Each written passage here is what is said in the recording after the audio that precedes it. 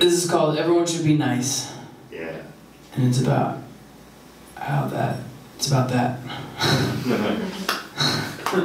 There you go.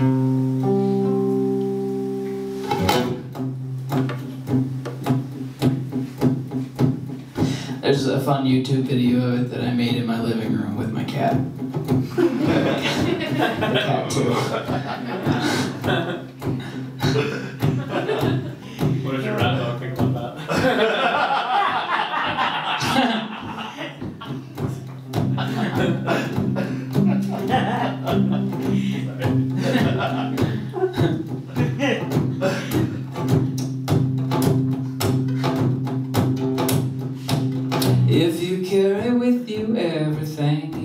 need, you will be lighter in the long run and aware of all your seams. You will be comfortable with silence in the moments that call softly for attention.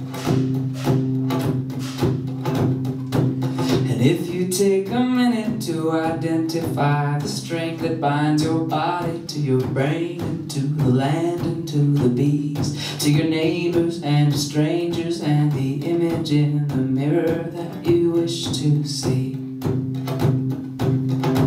You would be friendlier on the freeway. You would let them in in traffic. You would hope they got home safely. Reserve your horn for emergencies.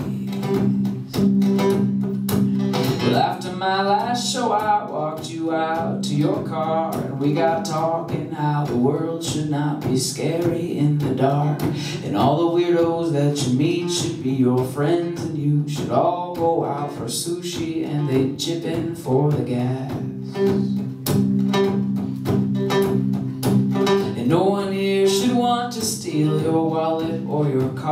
But if they do, I'd hope their absence helps define just what they are. A nifty place to keep some plastic cards, a magic chair that burns the bones of dinosaurs, propelling you at chosen speeds to any place you want to be.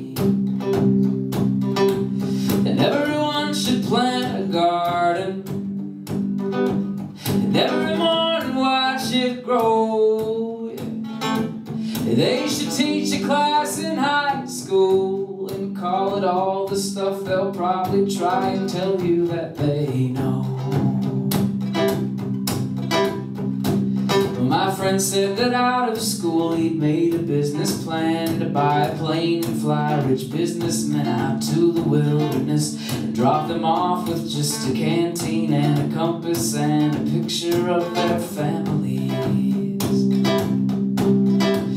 Tell them any way you choose to walk, you'll soon enough be home. And when you get there, they'll be waiting, porch light on the kettle rolls. They will listen to your story, every word before you tuck them in the bed. But most of them would ask for refunds.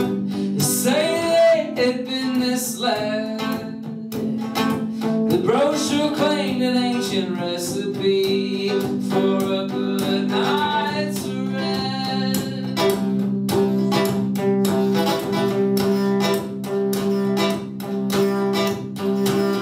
Carrie, when you're gone, the smallest things get stuck to me, and there is no one here to pick them off by way of listening. I tried to substitute the cat to no avail. She's just as selfish.